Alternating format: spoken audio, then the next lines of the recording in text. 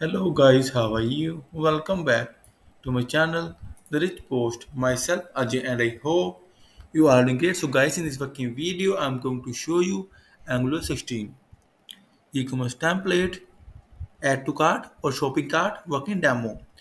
So guys, before showing you working demo, I must say please watch the video till the end and please subscribe my channel for latest Angular updates. So guys, here we go. So you see on my screen, you can see Angular 17 is working fine.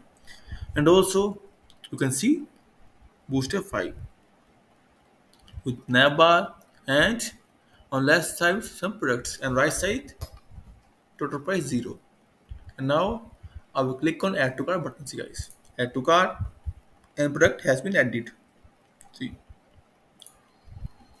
Works well on 20 the price increases remove to cart and now I will add this one. See guys.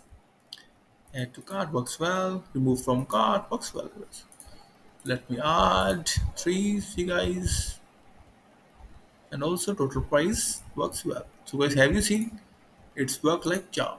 And one little demo for checkout as well. Two products total pricing and checkout page. See guys works well and I am still working on it. But add to cart works well. And update I will show inside the navbar pop-up add to cart section to make it more beautiful. And guys if you will have any kind of query session requirement then feel free to comment on this video.